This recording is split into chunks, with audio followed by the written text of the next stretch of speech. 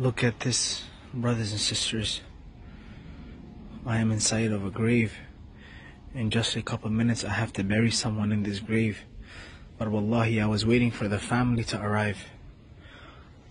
And I just took this time out to give myself and you all a reminder. These are all name tags that you see. These are all graves. That is the grave of someone else that is buried over here. You can see the coffin. Inside of it is a dead body.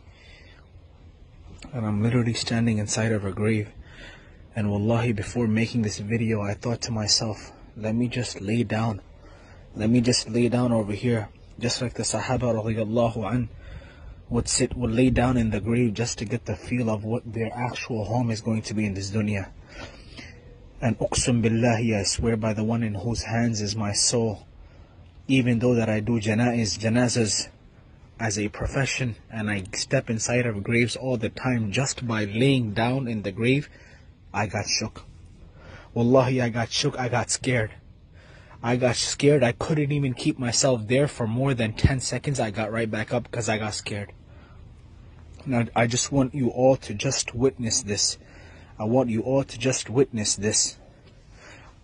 And I hope it will awaken or give you guys a bit of a reminder of how you, what you will see in your grave.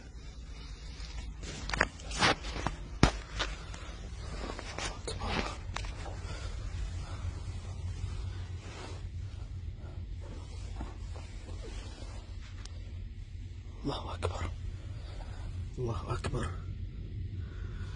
Allahu Akbar. May Allah subhanahu wa ta'ala have mercy on us. Wallahi, this is scary. Wallahi, this is scary. Wallahi, this is scary. The grave is scary. The grave is scary.